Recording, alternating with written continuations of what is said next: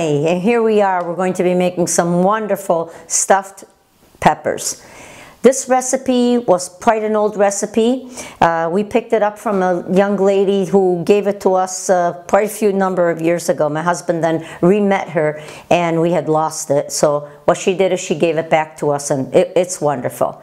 Uh, a lot of nice ingredients and I know everybody has a good recipe for their stuffed peppers, you know, with rice in them or whatever. Yeah, you can substitute pretty much anything. If you don't want the bread, yes, you can use a filler, you can use some oats, and today we, we are using more products that aren't uh, um, based uh, in, in like a bread. Okay, well, the ingredients are very simple. Let's get down here and show you which ones they are, okay? We have, of course, our about a quarter pound of uh, ground beef. Uh, we can use chicken and we can use also uh, turkey and that'll be enough for four peppers, pretty much medium size. And then we have our about two tablespoons of chopped parsley. We have some um, anchovies, about a tablespoon. We have our capers. These are what's going to give them that really nice salty taste. Um, and then we have about one garlic and a half chopped, salt and pepper. We have black and green olives and we have a little bit of tomato that you can literally pick up a, a, really nice ripe tomato, squash it down if you don't want to open up a can of tomato. That's about a quarter cup. And then I chopped up about another good quarter cup of uh, just normal uh, tomatoes. I like them in there. And uh, of course our bread, and here's how we have it. I put that in milk, okay?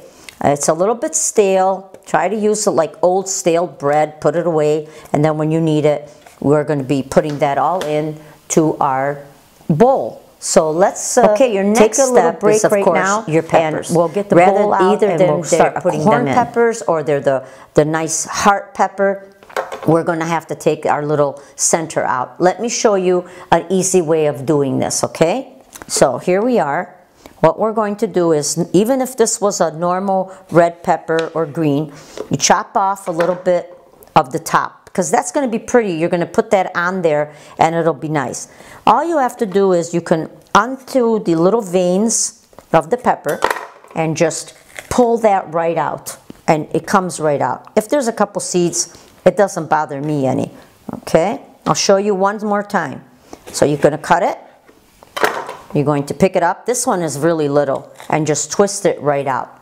And on your uh, other peppers, it's, it's pretty much the same. And leave your tops. Okay, here's our bowl. And we're going to start putting in all of our ingredients. Of course, I told you a half a pound of either ground beef or you can go ahead and use um, turkey, chicken, mix it for it's it's good. Then we're going to be putting in our two tablespoons of parsley.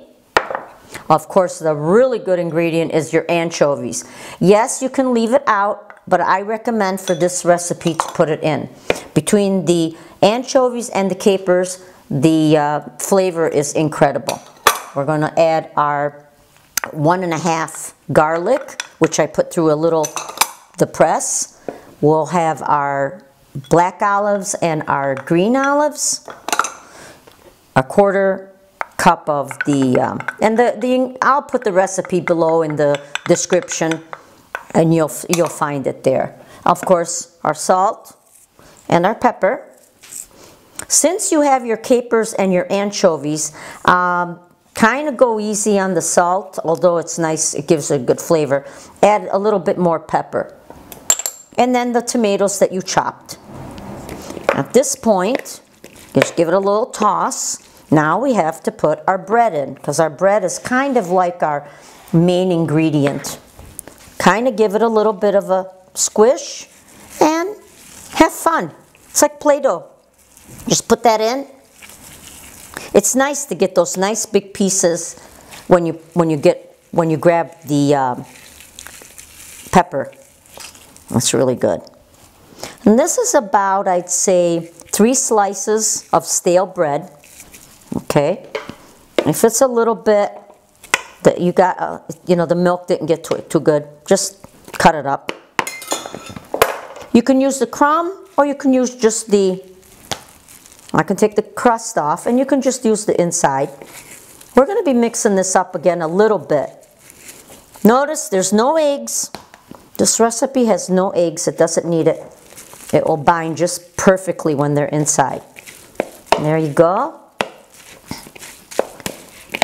Give it a nice, you know, try to get your meat combined with your um, your little bit of bread. Oh, there's such, my goodness gracious, there's beautiful perfume, beautiful. And what I would do, make sure you mix it because you have your anchovies. Uh, by the way, you can use a little bit of anchovy paste also if you if you have that at your local uh, grocery store. You can also use the uh, uh tape, a teaspoon of the anchovy paste and that'll make it really nice. That was part of the recipe that the lady gave us, but I'm using whole ones, okay? And at this point, all we have to do is get our pan ready. I'm just going to use a little pan, add a little bit of olive oil to the bottom, okay? A little bit of olive oil. I'm going to take our pepper, and I'm also going to put a little bit of olive oil in the pepper just a little bit, okay? And what I'm gonna do now, this is another good part, Play-Doh, really nice, is I'm going to fill it.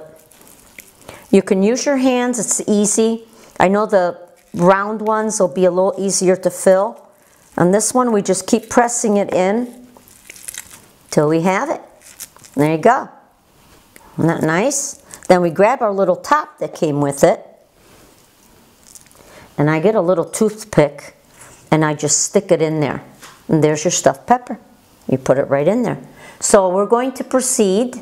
We're going to proceed with the um, other peppers and you just continue doing that. Stuff them, place them right next to each other and put a little bit of aluminum foil on top, put them into a 350 degree oven that you have preheated for roughly about 30 minutes and then uncover them and keep an eye on them. I'd say let them stay in the oven another 15 minutes and you'll see how nice and crisp they are.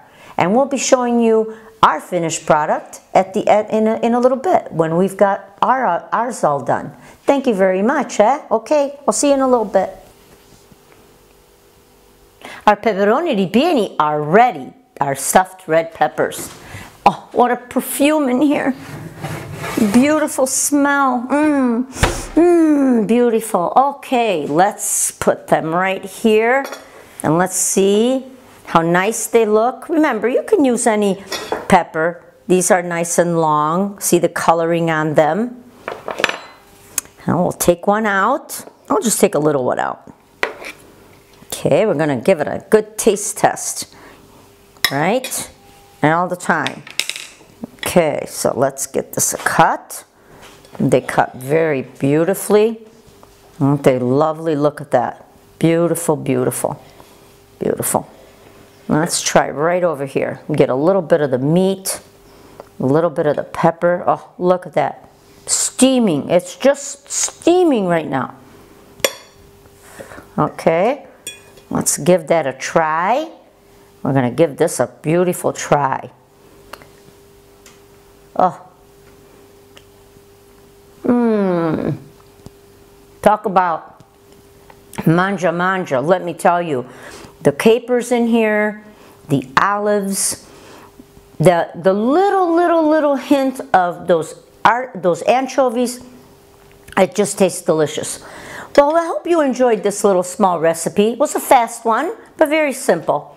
And remember to subscribe I would enjoy that if you would. And always use your virgin, extra virgin olive oil on your food. It's always the best. And again, I'd love if you would subscribe to me. I enjoyed this little video and there'll be more to come. If you have any ideas, give me a, a shout out and we'll, we'll make them for you. Okay, I hope you enjoy Marisa's Cucina Italiana. Bye, friends.